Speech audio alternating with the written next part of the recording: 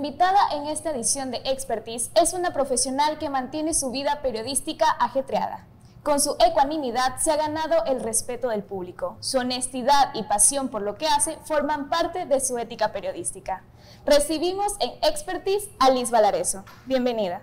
Gracias a ustedes por haberme invitado el día de hoy. Me siento honrada con esa descripción previa a comenzar este diálogo, esta entrevista. Así que no, más bien agradecida de poder estar con ustedes. Es un placer tenerla aquí.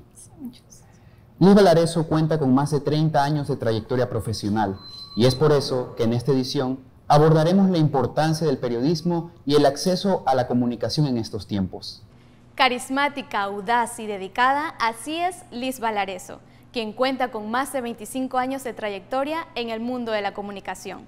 Cuando amas lo que haces, tu sonrisa te delata. Con esta frase, Liz destaca que ha logrado convertir el periodismo en su pasión y vocación. Además, ha demostrado que su principal objetivo es ayudar y servir a la comunidad. Recibimos a Liz Valareso con la siguiente frase de la periodista mexicana Lidia Cacho. El periodismo como herramienta solamente funciona y se vincula intelectual y emocionalmente cuando es honesto cuando dice la verdad de las verdades, aunque parezca contradictorio, y cuando se coloca en el lugar correcto de la sociedad. Liz, arrancamos con esta increíble cita. Nos gustaría saber su opinión acerca de esta reflexión. Bueno, concuerdo plenamente. Creo que puede llegar a ser una frase trillada, a lo mejor porque la hemos escuchado mucho, pero es así. Para ser un buen comunicador, un buen periodista, primero hay que ser buena persona.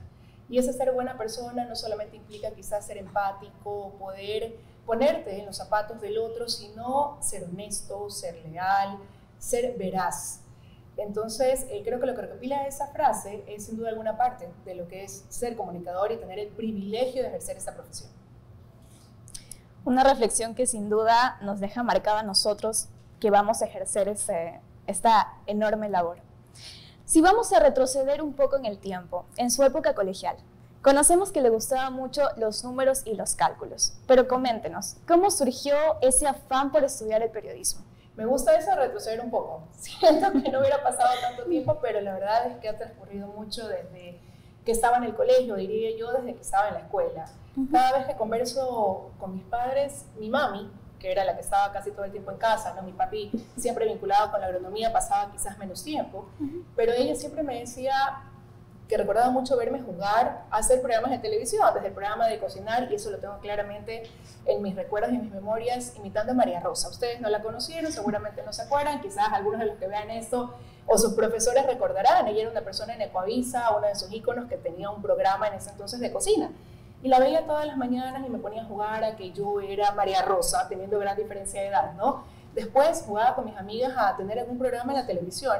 Y sí, de hecho, fui físico-matemático ya en el colegio. Eh, amo los números, era muy buena para números. Y tenía esa disyuntiva, si irme por la carrera de economía o irme por la carrera de periodismo. Eh, en mi casa, inicialmente, de hecho, me acuerdo que cuando les comenté que iba a estudiar comunicación social, mi papi me decía, pero ¿por qué? Puedes tener un futuro brillante siendo economista, eres tan buena con números, me iba súper bien.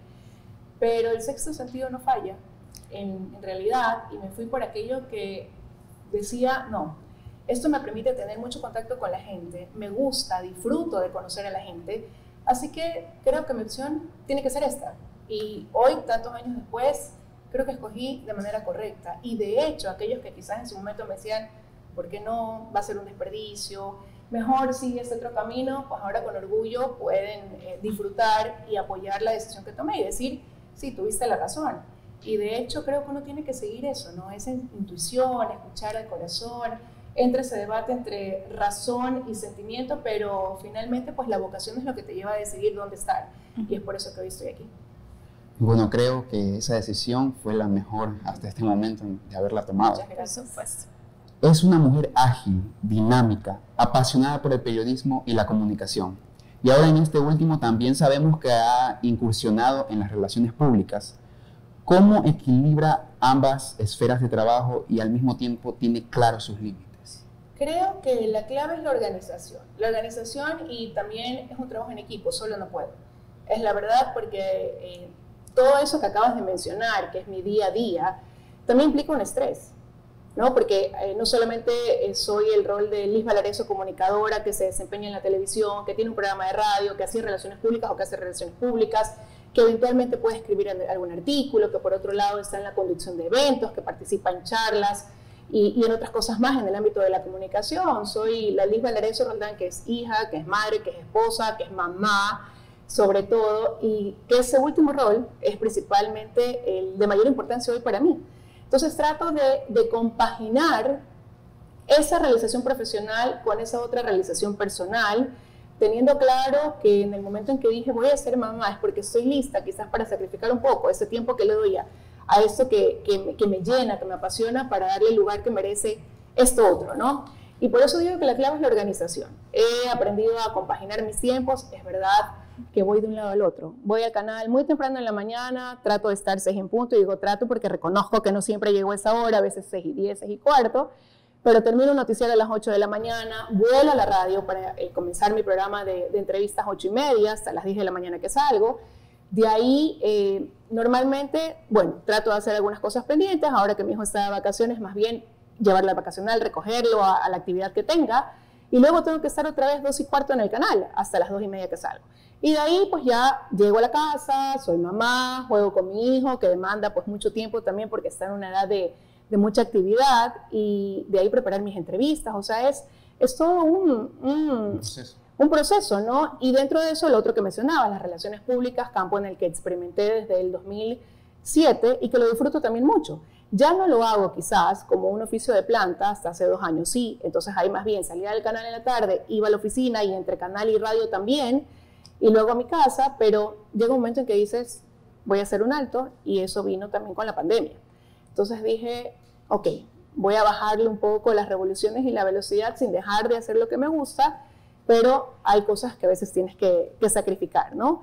En todo caso, eh, regreso al inicial y pienso que fundamental es la organización y tener un equipo que te ayude y te sostenga. Por supuesto. Como lo mencionó con anterioridad, Liz Valareso no solo tiene esa parte profesional, sino que también cuenta con esa parte humana, la parte humana en la que tiene que mezclar su vida familiar con el periodismo. En el año del 2022, la UNICEF le otorgó un reconocimiento por la campaña Ahora que lo ves, di no más. ¿Qué significó para usted esta campaña y esta distinción que recibió? Realmente gratitud gratitud, me sentí súper honrada porque durante el tiempo que tengo de ser comunicadora, si algo me llevo de satisfacción quizás es esa vinculación con la comunidad, el poder haber sido puente en muchas ocasiones entre esa persona o ese barrio o ese sector o quien necesita una ayuda con quien podía tener la posibilidad de darla, ¿no? O quizás generar una campaña y motivar a, que brote eso que tenemos los ecuatorianos, los guayaquileños, que es ser solidarios. Eh, años atrás conocí a gente maravillosa, muy valiosa y valiente que se atrevió a romper el silencio y a visibilizar una realidad que muchos no querían tocar, ¿no? Eh, y tiene que ver eh, con el tema del abuso infantil. ha venido siendo un trabajo sostenido, de Ecuador dice no más, con Paola Andrade y Ricardo Vélez, un trabajo directo que lo hicimos en el noticiero de la comunidad y desde ahí pues me vinculé mucho con ellos, porque como les digo, reconocí en ellos una pareja de esposos que decidieron hablar de un tema tan tabú y que han ido logrando tantas cosas maravillosas en el camino. Y eso se junta con esta campaña de, UNICEF. Entonces, eh, realmente al paso de los años digo, eh, tengo un corazón agradecido. Más bien, eh, si a alguien debería condecorarse es a ellos. Y ellos hacen lo contrario, ¿no? Ellos retribuyen de esa forma quizás el hecho de que tú puedas transmitir sus mensajes que son tan importantes, el ser voz, el, sumar y eso claro, porque de una u otra manera, a través de este ejercicio periodístico, esta responsabilidad que tienes como comunicador, con el paso del tiempo vas creando una credibilidad y eso es en base a, a lo que la gente ve, a esa transparencia, esa inteligencia, esa forma de comunicar, esa forma de contar las cosas tal y como son. Y eso quizás para muchos te vuelve un referente y por eso digo, eso implica una gran responsabilidad. Y eso es lo que quizás ven o vio en su momento UNICEF. El que siempre que me tocan la puerta, pues ahí estoy. Siempre que me dicen, Liz, queremos transmitir este mensaje, nos ayudas, puedes replicarlo, nos puedes dar un espacio, siempre. O sea, son las cosas que merecen tener una cabida y siempre una puerta abierta, ¿no? Así que me sentí súper honrada. Es algo que lo llevo en mi corazón, que lo guardo en un lugar maravilloso, que lo tengo en un lugar lindo en mi casa, porque son aquellas cosas que, que valoro y que a la larga, como digo, te las llevas en el corazón. Fue vocera de esa comunidad fue vocera de sus mensajes. Sí, en su momento, no embajadora, porque ellos también tienen sus embajadores, pero sí una vocera que siempre está dispuesta a, como digo, a compartir, a replicar ese mensaje que creo que, que, es lo que deberíamos hacer todos, ¿no? Son las causas que deben congregarnos, reunirnos y llevarnos siempre a, alzar esa voz.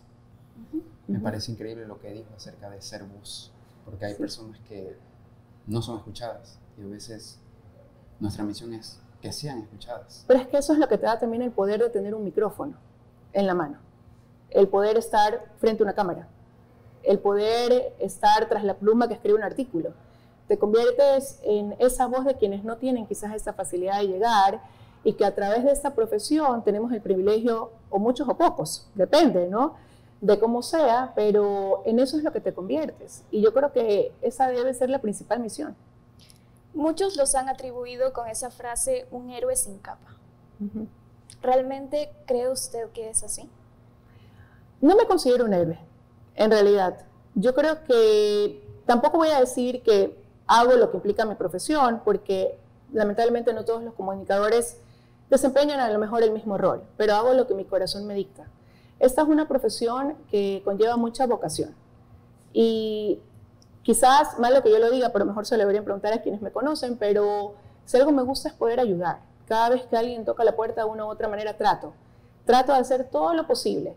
Eh, por, por, darle la mano, por, como digo, tender un puente, por hacer la gestión que pueda hacer con tal de ayudar. Eh, a través de las entrevistas, por ejemplo, que es un campo más duro, que es lo que ahora quizás ustedes están haciendo, y yo lo ejerzo desde hace ya algún tiempo en el campo político, económico. Si bien es cierto, trato de que sea el televidente el que saque su conclusión. Mi, periodismo de entrevista no es un periodismo agresivo, no es incisivo, cada uno tiene su estilo. Yo considero que sin llegar a, pelear o, o, mucho menos puedes obtener la información que quieres, mi misión es que quien está al otro lado de la pantalla saque sus conclusiones. De la misma manera, cuando hay algo que, debe ser contado y que merece una respuesta, para eso está mi voz.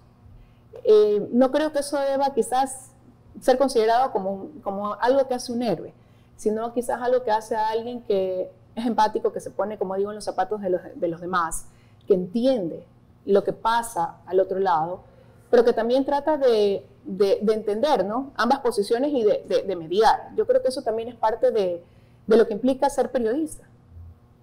Una misión que como periodistas debemos tener. Liz, son 26 años en el periodismo. Sus primeros pasos sabemos que los dio en el 97 con un gran recorrido profesional. Eh, durante este tiempo, sin duda, tiene muchas experiencias que contar. Y en su actual canal sabemos que también se le ha dado la oportunidad de entrevistar a distintos personajes. ¿Cuál ha sido su entrevista más enriquecedora? ¿Sabes qué? Muchas veces me han preguntado eso, no lo voy a negar, y siempre me resulta complejo responder, porque han sido tantas personas a lo largo de este camino. La verdad es que cuando ustedes dicen 26 años, digo, ¿en qué momento pasaron? Se me han ido volando, ¿no? Y creo que en parte es porque he disfrutado todo el proceso, que me resulta muy complejo. Eh, el escoger una. Puedo hablar de personajes a lo mejor, una entrevista que, de alguien que me impresionó mucho en su momento, Nicolás Maduro.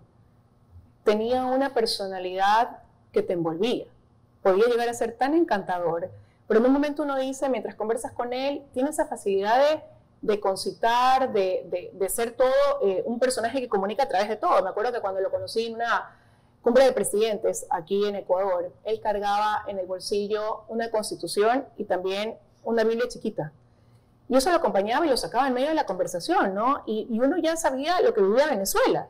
Entonces decías, qué contradictorio. No sé qué puede llegar a ser tan agradable que te habla con la Constitución en una mano, con la Biblia en otra mano y sin embargo ves lo que sufre su país. ¡Wow! ¡Qué rete, qué, qué difícil también, porque era muy astuto! Entonces, tratar de, sacar la información eh, que a lo mejor ameritaba en ese momento resultaba complejo y ahí, ahí tienes que ser hábil y tener tus recursos, ¿no? Un personaje muy difícil, muy difícil, el ex presidente y ex alcalde de Guayaquil, León Flores Cordero. Eh, con él tengo muchas anécdotas, muchísimas. En realidad, y con orgullo puedo decir que a la última persona que le dio una entrevista en televisión antes de despedirse de su carrera política fue a mí. Pero fue después de, como digo ahora, haberme ganado su respeto, ¿no? Porque era un ser muy complejo. Si tú eras un periodista nuevo, él no te valoraba como valoraba a los otros. Y habían periodistas ya de mucha trayectoria que tenían como fuente León Flores Cordero, ¿no? como alcalde de Guayaquil en esa época. Y me lo asignaron y yo era muy nueva y él trataba siempre como de minimizarte.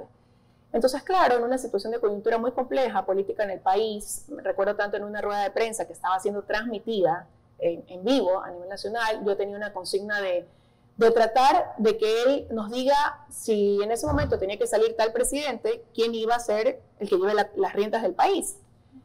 Y ya algunas personas se lo habían preguntado y él daba la vuelta y daba la vuelta y no se centraba en el tema. Cuando se lo pregunté, él en ese momento explotó.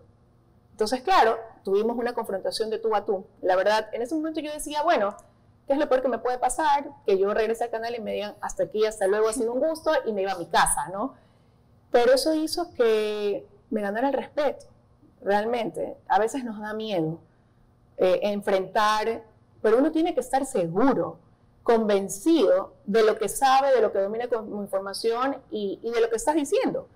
Entonces creo que esas son cosas muy claves en un determinado momento y eso puedo decir que fue lo que me llevó, como digo, a después ser eh, la periodista a la que él le daba la entrevista en Amazonas porque si no era yo, él decía no. No era nadie. Eh, yo no estaba de guardia los fines de semana y él decía, no, es que si no viene el hijo eso, entonces no.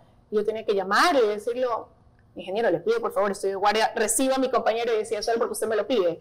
¿No? E, esa apertura después de decir, bueno, vamos a hablar del país, nos tomamos un café, cuando nunca antes.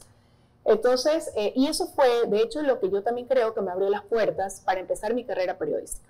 Y fue en una charla de la universidad, cuando Carlos Vera, en su momento el periodista de mayor reconocimiento y trayectoria, fue a, darnos una charla. Mi profesor en esa época, pues de audiovisuales, recuerdo era Rolando Panchana, y eran muy amigos, ya no lo son, la había tomado otros rumbos y lo llevó. Y yo lo que dije es, tengo el, el periodista de mayor trayectoria, un gran referente, lo voy a exprimir y aprovechar. Entonces, claro, con la curiosidad innata eh, que deben tener los periodistas, hice eso. Lo exprimí y a las dos semanas me llamó a proponer trabajo.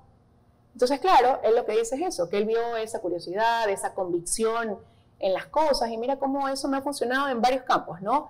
Pero ahí tengo algunas anécdotas en la caída del presidente de Lucio Gutiérrez, por ejemplo, el tener que salir corriendo de la gobernación para evitar ser rehén de esa masa que se quería apoderar de la gobernación, donde sí se quedaron como rehenes otros compañeros. Nunca en mi vida recuerdo haber corrido tanto como ahí, como instinto de supervivencia, por ejemplo, ¿no? Pero son cosas que pasan y que no las mides en ese momento, porque quizás primero está ese ímpetu de querer informar, de querer estar donde las papas queman, ya ahora, con un hijo, quizás lo pienso dos veces. Pero en aquel entonces no. Entonces, regresando y quizás me extendí un poco, es muy difícil precisar una entrevista. Tengo muchas, muchas que las guardo en mi memoria, en mi mente y, que, bueno, que han tenido su, su porqué de, de, ser especiales. ¿no? Resulta muy difícil quizás hablar de un solo personaje. Con, lo que nos ha comentado es sin duda una trayectoria profesional enriquecedora. Conocemos a esa Liz Valareso multifacética. La hemos visto en radio, en televisión y en relaciones públicas. Pero, ¿qué más usted tiene a futuro? ¿Qué proyectos nos puede comentar?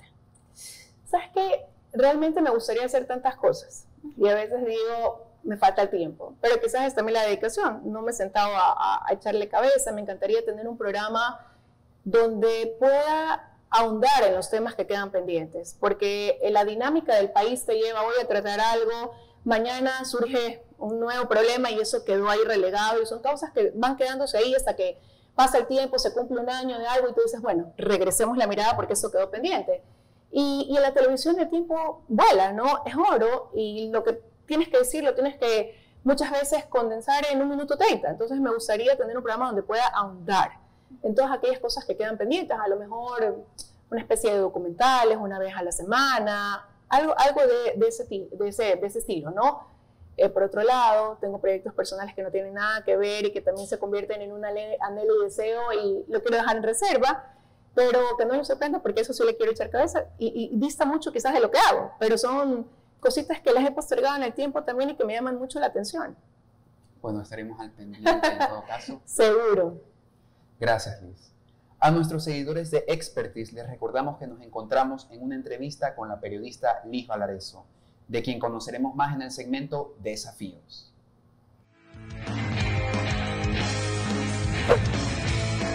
Liz, Se caracteriza por trabajar en medios de comunicación, donde ha logrado exponer distintos casos de interés público que se ha suscitado en el país.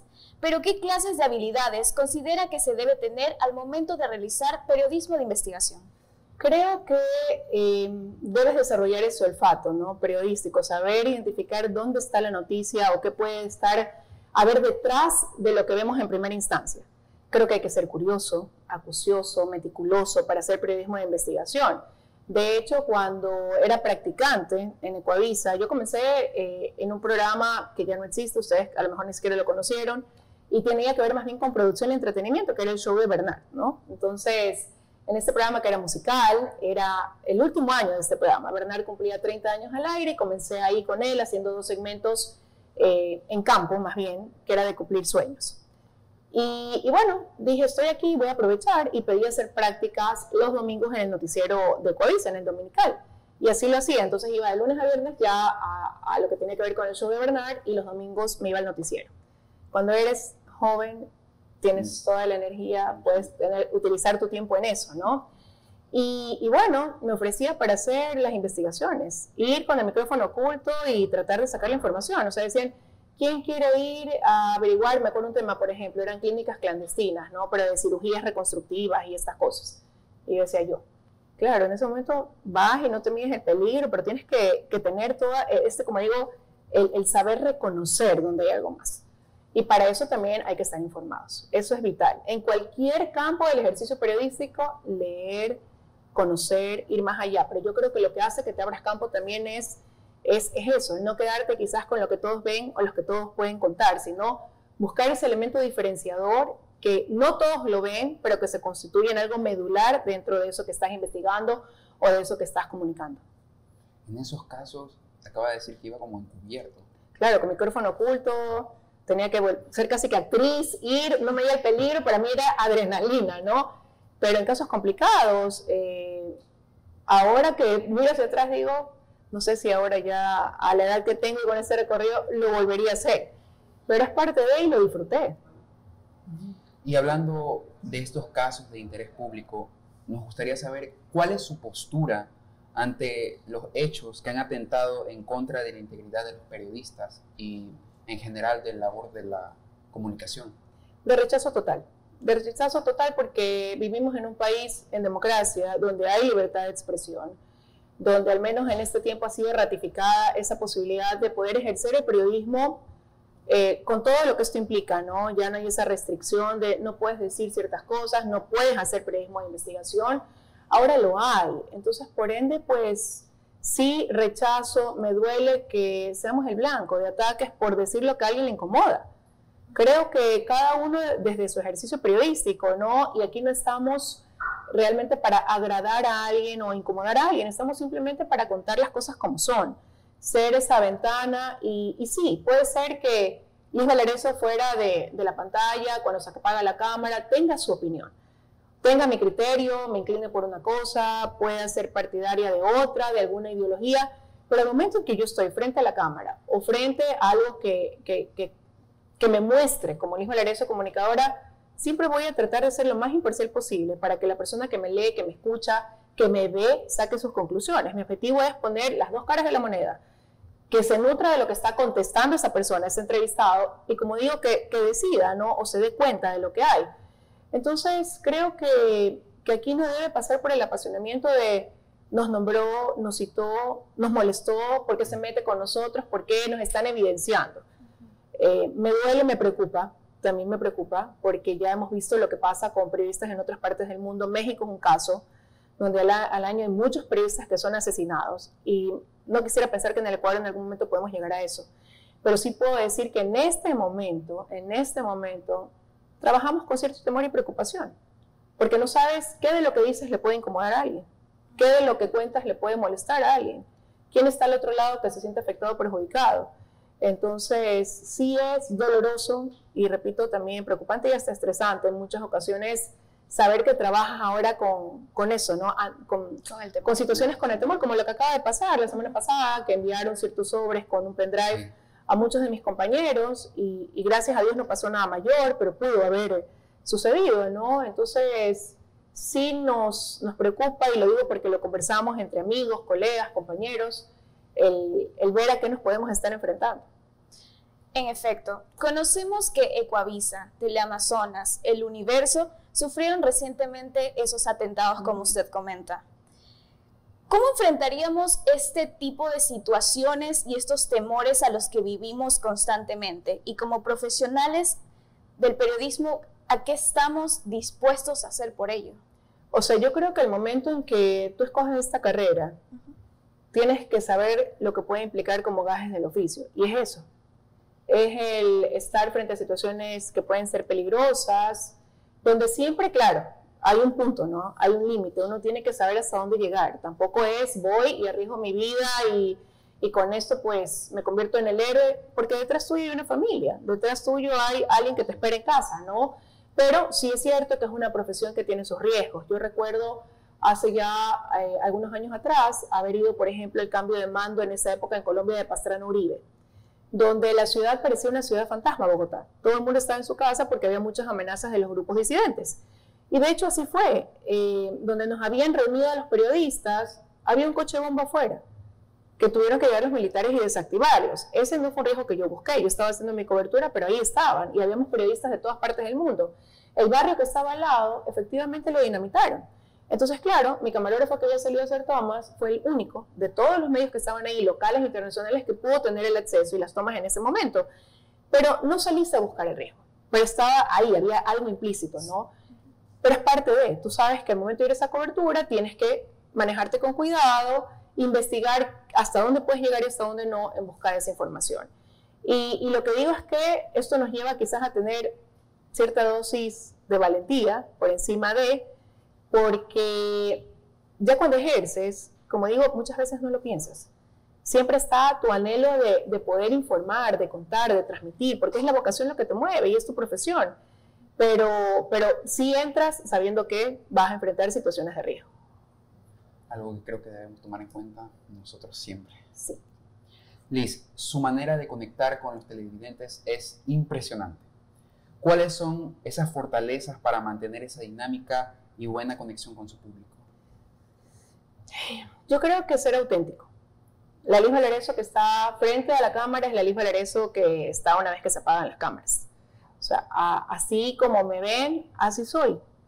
Con la gente que me conoce, con la gente que no me conoce, con la gente que se me acerca en la calle, con el político que entrevisto. Yo creo que eso es, es, vital y eso lo percibe quien está al otro lado de, de la pantalla, ¿no? Ahora que existen, por ejemplo, las redes sociales, me encantaría poder contestarle a todas las personas, pero sí trato de hacerlo. Aquellos que de repente me cuestionan, que no están acorde con lo que hago, con lo que digo, ok, lo respeto. No me engancho jamás en una pelea, nunca. Cuando me hacen alguna crítica constructiva, la agradezco. Cuando me felicitan por algo que creen que hice bien, lo agradezco. Eh, me encanta leer cuando alguien me bendice. Es, es algo que siempre eh, respondo y contesto. Entonces creo que es, eso, pero me ha ayudado el, ser empático. Yo creo que eso es clave. Clave y, también el ser agradecido. Porque pienso que si después de 26 años estoy donde estoy y he ido avanzando dentro de esta carrera, alcanzando los objetivos que me pongo en las metas, es en base a, a, ese, a esa credibilidad, a ese reconocimiento que me dan quienes me leen, quienes me ven, quienes me escuchan. Entonces, eh, es por ellos que estoy aquí. Porque si no, no estaría, esa es la realidad. Pero eso creo que lo he ido construyendo en base a la honestidad, a la integridad. Uno tiene que ser y parecer. Siento que esa empatía, esa transparencia que realmente es con lo que reconocemos a un periodista es fundamental al momento de, de ejercer, dar una noticia, porque como usted mencionó con anterioridad, somos esa ventana con el televidente, que nos ven y lo que ellos perciben es también lo que somos. Entonces ellos se tienen que conectar mediante eso. Eh, somos nosotros los que damos esa, ese mensaje que ellos tienen que intuir, tienen que comprender y tienen que ver que realmente nosotros transmitimos eso y arriesgamos para la información. Los principios del periodista realmente no han cambiado, siguen manteniéndose. En ese sentido, ¿cuáles son los desafíos que el ejercicio periodístico en la actualidad se enfrenta, como los cambios tecnológicos, entre otros? Bueno, yo creo que definitivamente este, este migrar ¿no? a una nueva forma de comunicar a través de, de, las redes sociales, a través del streaming, la inmediatez también que tienes, el hecho de, de que todo gira muy rápido, que compites incluso con aquella persona que se puede anticipar con un celular convertirse en periodista, porque prácticamente todos los ciudadanos se convierten también en eso. Vas por la calle y grabas lo que ves y lo subes a una red social y ya todo el mundo se informó antes que tú, ¿no? De que tú quizás lo comunicaras. Creo que eso nos lleva a, a, a sumarnos y a ir evolucionando. Ahora con esto de los millennials, centennials, ustedes forman parte de eso, a los que venimos de antes nos ponen en, en un reto constante, a, a, familiarizarnos con lo que el mundo demanda, un mundo globalizado, ¿no? Como digo, ahora es muy fácil saber lo que pasa al otro lado del mundo, antes tomaba más tiempo y, y no todo el mundo tenía el acceso, a lo mejor quienes estábamos en los medios a través de, de las cadenas aliadas nos enterábamos antes y por eso lo poníamos en una pantalla, pero no todo el mundo podía percibirlo tan rápido, ¿no?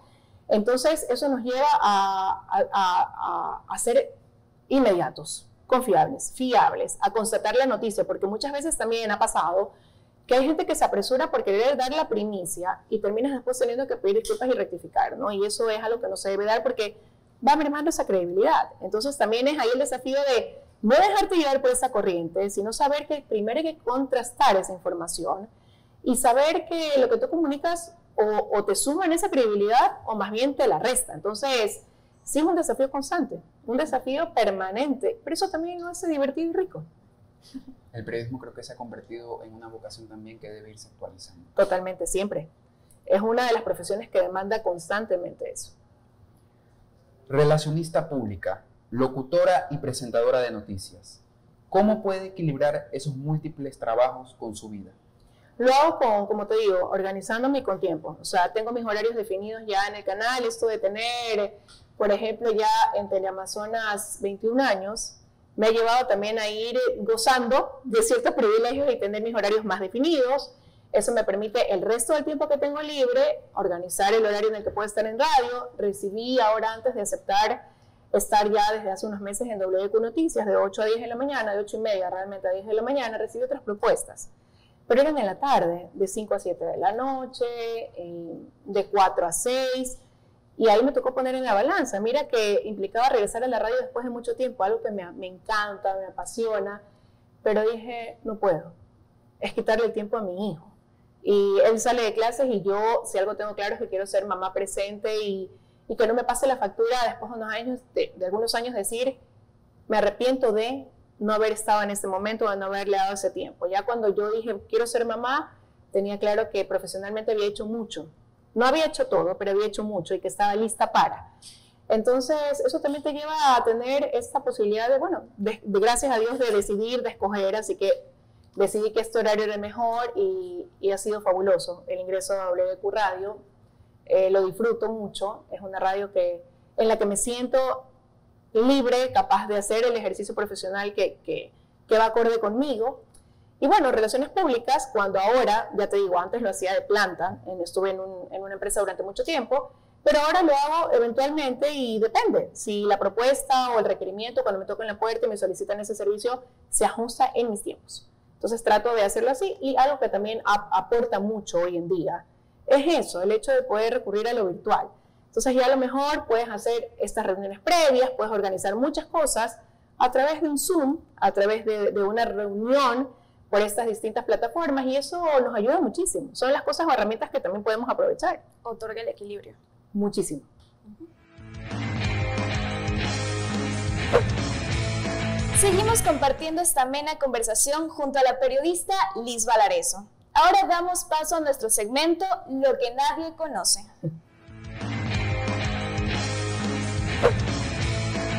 Este segmento tiene que ver con la agilidad mental. Liz, aquí debe responder con cada palabra o frase sin pensarlo mucho. Ok. ¿Iniciamos? ¿Está lista? Lista. 24 horas. Pasión. Comunidad. Vocación. Samuel.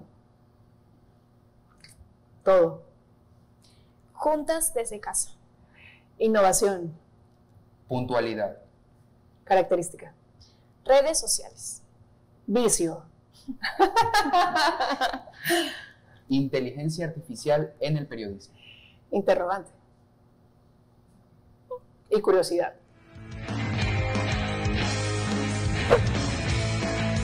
Muy buenas respuestas. Sí. Y qué agilidad. Mirar hacia el pasado nos recuerda a dónde queremos llegar. Nos impulsa a cumplir nuestras metas y nuestros sueños. ¿Qué mensaje le enviaría a esa pequeña Liz del 97 que estaba a punto de iniciar sus metas y sueños? ¿Qué le diría si regreso en el tiempo que le aplaudo? Le aplaudo por haber vencido el miedo, por haber sabido escuchar, porque si algo tengo que, que contarles es que muchas veces quise tirar la toalla. Cuando comencé en producción de televisión, quizás no, era otro tipo de trabajo, me divertía, tenía que cumplir sueños a la gente. Entonces era algo que me encantaba y que fluía muy fácil. Pero cuando entré en el mundo de las noticias, cuando Carlos Vera un viernes me llamó a las 5 de la tarde y me dijo, te espero el lunes para que te enteres a mi staff de reporteros en TC Televisión y me cerró el teléfono. Recuerdo tanto ese momento, abrir en el carro con mi mami y decirle, acabo de recibir esta llamada, ¿qué voy a hacer? Entonces, claro, le llamé y le dije, estudio en la universidad, no tengo experiencia, no creo que pueda. Y su respuesta fue, no te lo estoy preguntando, te lo estoy diciendo. Nos vemos a las 8 de la mañana y me cerró. Llegué a TC Televisión ese lunes, lo recuerdo claramente, con periodistas ya de reconocida trayectoria, con muchos años, eran jóvenes, pero ya tenían muchos años en la televisión, y pensé que iba a tener una inducción, y no fue así. Me asignaron los mismos temas que ellos, dos temas por día, en la mañana dos, en la tarde dos, más bien cuatro, y recuerdo no haber podido al principio ejecutar como tenía que hacerlo. Entraba a las editoras y los reportajes me quedaban de cuatro minutos cuando tenían que durar 1.30. Entonces el editor me retaba todos los días. ¿Por qué me haces perder el tiempo? ¿Por qué traes un texto tan largo? Salía llorando, iba a la oficina del director, que era Carlos Vera, y le decía, con la carta de renuncia, renuncio. Me la rompía en la cara todos los días. Y me decía, tú puedes. Agradezco haberme topado en el camino y me siento bendecida con personas como él, por ejemplo, como mi actual director de noticias, Carlos Castañeda, que siempre han creído en mí. Quizás más de lo que en su momento podía haber creído yo misma. Pero al momento de sentir que esas personas creían es porque dije, algo están viendo que yo no. Y paro, respiro, analizo y digo, ok, es verdad, yo puedo. Y sigo. Entonces a esa niña le digo, te aplaudo por lo valiente, por lo decidida, por haber vencido el miedo y por haber vivido quizás todo lo que me ha tocado vivir, que no ha sido tampoco todo lindo, ni color de rosa, porque me ha tocado recibir en el camino no como respuesta, me ha tocado eh, sentir a lo mejor que aunque ya estaba lista para algo, no llegaba en su momento. Eh, he sido paciente y aplaudo que esa hija haya tenido todas esas cualidades y características, porque hoy estoy donde me siento realizada, donde lo soñé, y creo que si, si esa Liz me preguntara si viviría nuevamente todo lo que me ha tocado, le diría que sí. Le diría que sí. Y saben qué, no hay nada más bonito que quizás regresar a esa mirada y sentir que ha sido un tiempo bien invertido, donde has podido crecer, donde has podido eh, aprender, porque esta profesión, si algo les va a dar a ustedes cuando ya en poquito seamos colegas y ejerzan, es un aprendizaje diario y continuo. Diario y continuo. Y también le diría, supiste aprovechar las oportunidades que el trabajo te abrió. Porque si de algo me siento súper orgullosa, y lo digo a mucha honra, es que todo lo que he alcanzado ha sido fruto de mi trabajo. Cada pasito y estar donde esté, sea mucho, sea poco, ha sido en base a esa dedicación, a ese esfuerzo, a ese sacrificio. Todas esas experiencias creo que se vuelven en ese momento enseñanzas en el transcurso. Siempre aprendes, sea bueno o sea malo todo en la vida te deja algo, algo que te enriquece, que te hace crecer como persona, que te hace poder corregir los errores a lo mejor e ir siendo ese, ese ideal que todos buscamos como seres humanos también, ¿no? Y también por eso tengo gratitud. Siento que soy muy bendecida, siento que Dios en el camino pues me ha puesto a muchas personas maravillosas, eh, de quienes he aprendido, y también eh, me ha ayudado a estar en algo que disfruto cada día, no hay nada mejor que trabajar en lo que te, te apasiona, ¿no? Y como siempre digo, es un continuo aprendizaje. Hoy los periodistas tenemos la obligación de estar informados. Pero a la larga, no es que somos ni abogados graduados, ni economistas graduados, no, pero hay que ser una especie de todólogos, ¿no? Porque tienes que saber un poquito de todo. Pero lo lindo es que cada día conoces a alguien que te va dejando algo de lo que aprendes. O el hecho de tener que investigar te va permitiendo abrir la mente y conocer cosas que a lo mejor no sabías. Y es una bendición, es una bendición. Así que a quienes siguen esta carrera como ustedes, la van a disfrutar. Lo que sueñan lo pueden alcanzar, pero también depende de cada uno. Hay oportunidades que pasan una sola vez y uno tiene que saber subirse a ese tren. Y una vez que te subiste, saber darlo, dar más del 100%, como siempre les digo, no limitarse quizás a lo que todos ven, ir más allá, aunque nos implique más trabajo. Cuando uno tiene la edad que ustedes tienen, hay la energía, hay el tiempo para quemarse las pestañas e ir más allá. Yo siempre, y aunque no me lo han pedido, les doy un consejo a todos los que nos están viendo, sobre todo ustedes que son estudiantes. Uno tiene que abrirse también y buscar esas oportunidades. ¿A qué me refiero? Eh, no siempre se empieza por ganar un sueldo y tener un trabajo. Se empieza por practicar, por tocar esa puerta y decirles, quiero. Y cuando llegas a un medio y quizás estás en la posibilidad de practicar, demuestra de lo que eres capaz. Da más allá, da más allá, aprovecha esa oportunidad, porque la gente te ve, la gente lo valora. E, e, esas ganas que tienes, esa curiosidad, hace que después, quizás cuando hay una vacante, te hayas quedado en la memoria y se abre esa posibilidad de trabajo es, quizás para muchos muy difícil. Yo debo decir que a mí me funcionó porque cuando entré a la universidad tenía un horario muy complejo. Yo estudiaba de 7 de la mañana a 10. De ahí tenía clases a veces hasta las 12 o a veces tenía que regresar de 4 a 10 de la noche. Pero en ese intermedio buscaba hacer prácticas, buscaba yo trabajar porque también decía, somos muchos y ahora son más y hay pocos medios y, y todos queremos tener alguna oportunidad. Entonces, sí les aconsejo eso. Están con la edad perfecta, la energía total para poder hacer eso. O sea, buscar abrirse ese camino y si tienen la oportunidad, dar, dar más de lo que quizás les están pidiendo en este momento, porque siempre hay alguien que los está viendo. Liz, ahora vamos a pedirle que pase a la pizarra de expertise donde deberá plasmar un recuerdo suyo. Me preguntaba para qué era el marcador que tenía aquí al frente y debo decir que ahora sí me van a sacar de mi zona de confort. Advierto que dibujo peor que mi hijo de 7 años. Solo digo eso. ¿Qué tengo que hacer? Un recuerdo suyo, cualquiera. Cualquiera primero que se le viene a la mente. Lo primero que se me venga a la mente es un recuerdo. Vamos a jugar como una especie de Pictionary porque van a tener que adivinar con los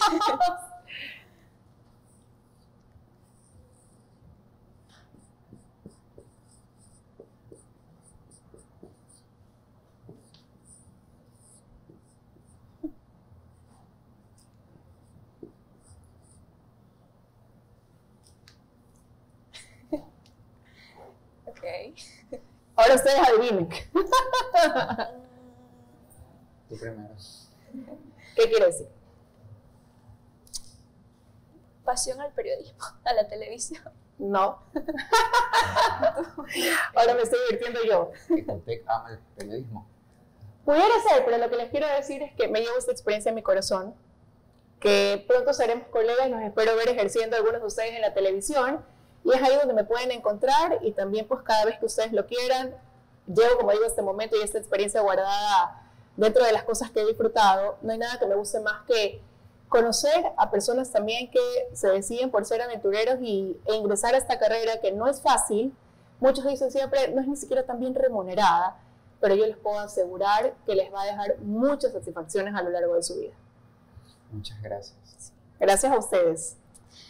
Quiero agradecerle por estar aquí en este momento, pero como usted lo indicó, usted no solo se lleva este, este recuerdo, este momento, esta felicidad y esta anécdota. Creo que todos los que estamos aquí presentes nos llevamos un poquito de lo que fue esta entrevista. Y, a todo esto, los avances como la tecnología artificial nos ponen al borde de una revolución constante. Es por eso que antes de despedirnos, le queremos agradecer por cada una de estas anécdotas que usted nos ha comentado el día de hoy. Y la recomendación que creo que para los estudiantes que van a ver esto va a ser muy valiosa, porque como usted también estamos deseosos de contar historias y, plasmar recuerdos. Y espero, espero pronto conocer esas historias. Les falta muy poco ya a ustedes para entrar a este ruedo, convertirnos en, en colegas. Y solamente les digo que disfruten del proceso, del aprendizaje, del camino. Busquen mucho la práctica, porque más allá de que la teoría es el sustento, no hay nada más enriquecedor que esa práctica gocen cada etapa, cada paso. A veces no es, tan fácil, pero va a valer la pena.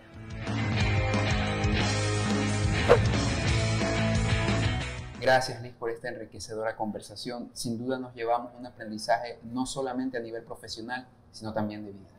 Gracias a ustedes más bien por haberme invitado hoy a este programa, lo he disfrutado. Eh, no hay nada que me alegre más que poder compartir con quienes se convierten en, próximos colegas, con quienes han escogido esta profesión de periodismo, porque es muy grato saber que hay quienes se visualizan teniendo esta vocación, esta misión de servicio y espero prontito verlos en el camino recordándoles que aquí estoy para las veces que quieran y, bueno, que disfruten del proceso, que lo gocen, que sueñen constantemente y que se enfoquen siempre eh, en eso que quieren alcanzar, ¿no? Pero teniendo como sustento el conocimiento. Siempre. Esta es una profesión en la que la preparación cuenta. Así que chicos, tienen todo un camino por delante, disfrútenlo, visualícenlo para que así cuando pase el tiempo pues, puedan mirar hacia atrás y decir, lo logré. Gracias Liz por esta tan grata entrevista, enriquecedora realmente. También queremos agradecerles a ustedes que nos acompañaron durante toda esta edición. Recuerden suscribirse a nuestro canal, seguirnos en nuestras redes y dar clic en me gusta. Nos vemos pronto con otro Expertise. Expertise.